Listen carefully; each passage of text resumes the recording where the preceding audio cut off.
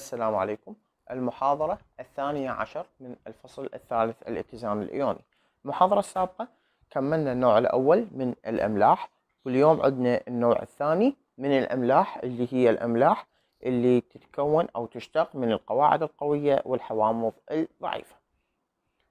حتى نبدي بهذا خلي ناخذ مثال عليها ونفتهم الفكرة مالتها. طبعا خلي أقرأ هاي الثلاث أسطر حتى نحول للمثال. يقول عند إذابة هذا النوع من الأملاح يكون المحلول ذو صفة قاعدية. بعدين راح أفهمكم ليش. دائما بسبب قابلية الإيون السالب للأملاح العائد للحامض الضعيف في التفاعل مع إيونات إتش الماء. خلي أعطيكم المثال. شوف المثال وبعدين أرجع لهذه الشرح. المثال شو يقول؟ يقول علل. عند ذوبان ملح خلات الصوديوم في الماء يتكون ملح قاعدي. زين؟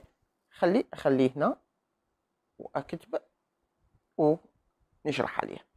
مثل ما اتفقنا. شنو اتفقنا؟ اتفقنا بأنه أني لازم أجي أكتب الملح أول شيء قال لي؟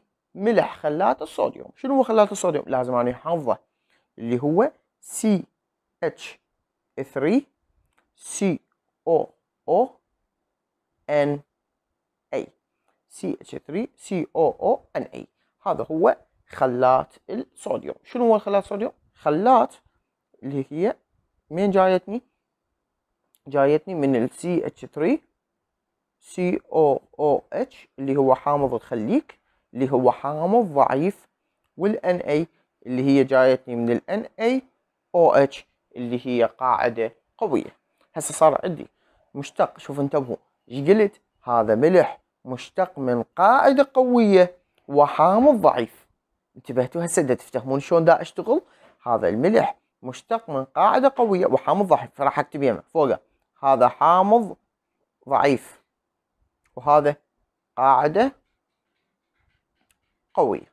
هسه راح أبدي أفككه. هذا يتفكك. شو يتكون عندي؟ يتكون عندي سي اتش 3 سي أو أو سالب زائدا ال اي الموجب هسه أجي شو أفكك؟ هسه أجي أفكك ال H2O المي. رايح جاي. من إيش يتكون يتكون من H موجب زائدا ال OH السالب هسه أرجع للفوق القاعدة. أنا عندي حامض ضعيف. من يجي شوف هذا اتش 3 سي أو أو من يجي يتحول إلى نواتج شو يصير؟ يصير الحامض يصير قاعدة واكتب قرين. مو صح؟ متفقنا؟ قرين. والضعيف راح يتحول إلى قوي. هسه أجي قاعدة قوية. القاعدة شو تصير؟ حامض وأكتب قرين. والقوي يصير ضعيف. شو اتفقنا؟ اتفقنا القوي هو اللي يتفاعل. القرين القوي هو اللي يتفاعل. القرين القوي هو اللي يتفاعل. هذا قرين ضعيف. هذا قرين قوي. قرين قوي. شنو إشارته؟ سالبه مية بالمية راح يتفاعل ويا الموجب. ما دام إشارته سالبة راح يتفاعل ويا الموجب. من الموجب ال OH لو ال H ال H موجب. إذا راح يتفاعل السي اتش 3 سي أو أو سالب ويا ال H الموجب. إيش راح يصير عندي؟ راح ينقص الاتش الموجب. فيصير ال OH زيادة. فيتكون عندي محلول شنو؟ قاعدي أو ملح قاعدي. واضحة الفكرة؟ راح تتكون عندي محلول أو ملح قاعدي. فشي يقول عند ذوبان ملح خلات الصوديوم في الماء يتكون ملح قاعدي. شوفوا تكون ملح قاعدي. زين بس معادلات حلتي؟ حلي؟ لا لازم أكتب له. شوف إيش راح أكتب له. باعوا إيش راح أكتب له.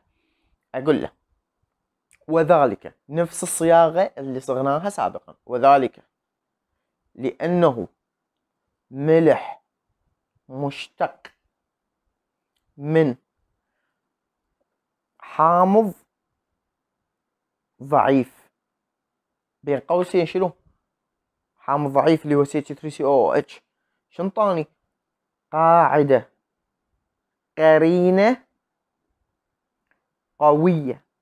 وش أكتب له؟ أكتب له هي صيغتها سي إتش 3 سي أو أو سالب وأسد القوس. وبعد شنو مشتق من شنو؟ وح قاعدة قوية من هي؟ هاي ال NaOH وقاعدة قوية بين قوسين شنو صارت؟ حامض قرين ضعيف واكتب له شنو هي؟ Na N Na موجب هسه هذا الحامض القرين الضعيف والقاعدة القرينة القوية. منو اللي راح راح يتفاعل؟ طبعا القاعدة القرينة القوية. فأكتب. ستتفاعل. ستتفاعل. أو سيتفاعل. القاعدة. القرينة. القوية. منو هي؟ CH3 COO سالب. مع. أيون. منو؟ ال H الموجب مو؟ ويا من تفاعلت شوف CH 3 COO سالب ويا ال H الموجب للماء فيقل تركيز اتش الموجب أيون الاتش الموجب ويزداد تركيز ال OH السالب. هسه لهنا أنا كتبته. زين شاد مني. يقول ويتكون محلول قاعدي ويتكون محلول. قاعدي ليش؟ بسبب زيادة ايون أو اتش السالب. هسه أستاذ هذا أحفظه؟ هذا الحكي؟ لا دا شوفني شلون دا اصيغ دا اصيغها عن طريق التفاعلات اللي سويتهن. قلت أهم شيء أكتب مشتق وذلك لأنه ملح مشتق. مين مشتق؟ مشتق من هذا حامض ضعيف واللي هو قاعدة قرين قوية. وقاعدة قوية اللي هو حامض قرين ضعيف. هسه إيش ستتفاعل القاعدة القرينة؟ ها هي. القاعدة القرينة القوية اللي هي هاي. مع أيون ال H الموجب للماء فيقل تركيز الاتش الموجب ويزداد تركيز الاو اتش السالب. من زاد تركيز ال OH السالب؟ إيش راح يصير به راح يصير المحلول قاعدي. زين إذا سألنا على بي اتش المحلول خلوا شي ببالكم. تركيز ال H الموجب. تركيز ال H الموجب. يتناسب عكسيا عكسيا يتناسب عكسيا مع البي اتش يعني شنو؟ من يزداد الاتش يقل البي اتش من يزداد الاتش تركيز الاتش يزداد يقل البي اتش هسه صار تركيز الاتش ازداد اذا البي اتش العفو تركيز الاتش قل. مو هنا قلنا سيقل تركيز الاتش فما دام قل تركيز الاتش اذا البي اتش ما دام قل الاتش اذا البي اتش راح يزداد. بهذا السؤال ما دام تركيز الاتش قل اذا تركيز اذا البي اتش زادت. لأن اتفقنا الاتش ويا البي اتش يتناسبن عكسيا. يتناسبن عكسيا. واضحة الفكرة؟ نجي إلى مثال أو نرجع للصفحة اللي قبلها اللي قلت لكم هاي ثلاث صفحات. اللي عفوا ثلاث أسطر. قلت لكم بعدين اشرحها عند ذوبان هذا النوع من الأملاح يكون المحلول ذو صفه قاعديه فهمتكم هسه ليش؟ كان المحلول ذو صفه قاعدية لأن تركيز ال OH زاد. قاعدية دائما بسبب قابلية الإيون السالب للملح هذا الإيون السالب للملح العائد للحامض الضعيف تفاعل مع إيون ال H الموجب في الماء لتكون الحامض الضعيف وبالتالي نحصل زيادة في إيونات ال OH السالب. قلت لكم زاد تركيز ال OH السالب فتظهر الصفة القاعدية للمحلول. أمثلة على هاي الأملاح KCN شوفوا هنا KCN ال K جايني من ال KOH وال CN جايني من ال HCN هذا حامض ضعيف وهذا قاعدة قوية.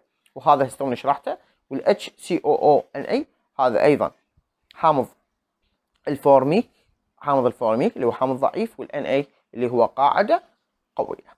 نجي على أمثلة أخرى لهذا النوع من الأملاح. نشوف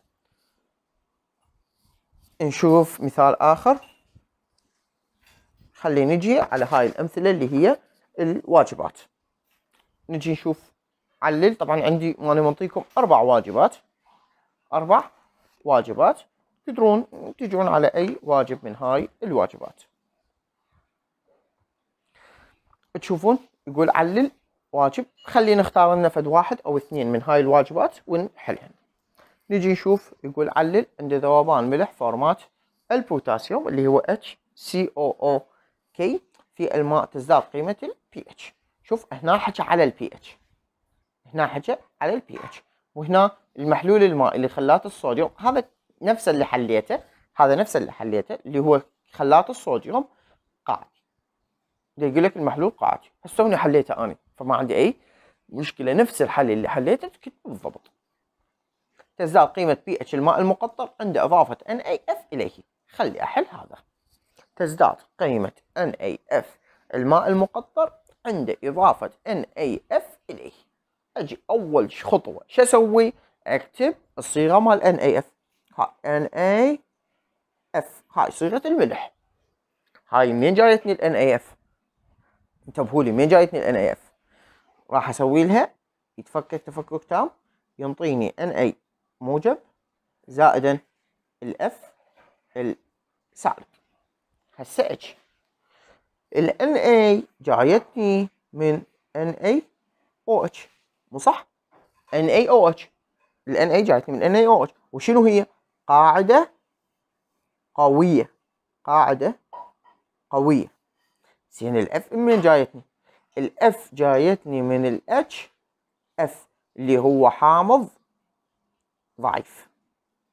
اللي هو حامض ضعيف. إذا صار عندي قاعدة قوية. وحامض ضعيف شوف أنا هسه أنا ما كنت ما أدري بالملح هو شنو هو. أنا ما أدري منين جاي من الملح. بس أنا إيش سويت؟ جيت فككته. اذا هذا الملح جايني من قاعدة قوية. وحامض ضعيف. خلي أجي أشوف. زين.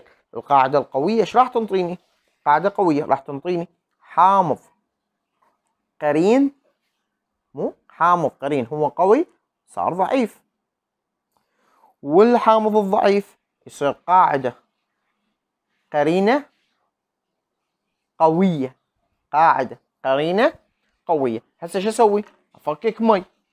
H2O رايح جاي. ينطيني H موجب. زائدا ال OH السالب هسه أجي. شو اتفقنا؟ منو اللي يتفاعل؟ القرين. القوي هو اللي يتفاعل. هاي بعد ما تنسوها. القرين القوي هو اللي يتفاعل. هسه أجي. وين القرين القوي؟ هذا. شنو إشارته؟ سالبة. اذا 100% راح يتفاعل ويا الموجب. من الموجب؟ الإتش الموجب. اذا راح يتفاعل هذا. الإف السالب ويا الإتش الموجب. هسه أجي أكتب صيغة الإجابة. شكتب وذلك. وذلك. لأنه ملح مشتق. من قاعدة إيش بيها هاي القاعدة؟ قاعدة قوية. بين قوسين شكتب قاعدة قوية. بين قوسين حامض. مو؟ هاي القاعدة القوية اللي هي أنا إي صارت حامض قرين ضعيف. اللي هو شنو هي؟ اللي هي ان ان أي موجب وسد القوس. وبعد من شنو مشتقة؟ و. وحامض ضعيف اللي هو من هو. بين قوسين قاعدة. قرينة قوية اللي هي من الأف السالب. ستتفاعل أو سيتفاعل. القاعدة. القرينة القوية القاعدة القرينة القوية اللي هي الاف السالب مع أيون الأتش الموجب للماء فيقل تركيز ال H الموجب ويزداد تركيز OH السالب. هسه أجي أشوف إيش قايل لي. إيش قايل لي؟ تزداد قيمة بي اتش الماء المقطر عند إضافة هذا. هسه أجي. قال لي بي اتش الماء المقطر راح تزداد. بما انه فيقل تركيز ال H الموجب. ويزداد ويزداد تركيز البي اتش عنده نقصان تركيز ايون ال H الموجب مو اتفقنا لأنه وذلك تنا تناسبهما عكسي. ليش نقص؟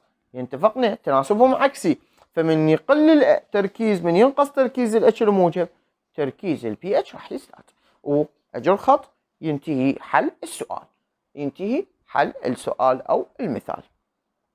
نجي نشوف. يقول علل تزداد القيمة العددية لبي اتش الماء النقي عند إذابة خلات الصوديوم أو سيانيد البوتاسيوم فيه. يعني نفس الحل. همين تجي تجيب سيانيد البوتاسيوم. شنو سيانيد البوتاسيوم؟ كي سي إن. سيانيد البوتاسيوم هو كي سي إن. تجي تفككه. إيش راح تسوي؟ تفككه. تقول له هذا ميش مين مجي؟ وهذا مين جاي؟ تجي هذا انطاني هيك وانطاني هيك انطاني حامض قرين ضعيف ويا قاعدة قرينة قوية. وهالنوبة شنو الحل مالته. هذه بالنسبة إلى تعاليل الإملاح بالنسبة للنوع الثاني. طبعا إلى هنا راح تنتهي محاضرتنا حسب هاي هاي المحاضرة هي للتطبيقي والاحيائي المحاضرة القادمة راح تكون حول ال ال قوانين الإملاح وأمثلة في الرياضيات للإملاح راح تكون للأحياء فقط. المحاضرة القادمة إن شاء الله راح تكون للأحياء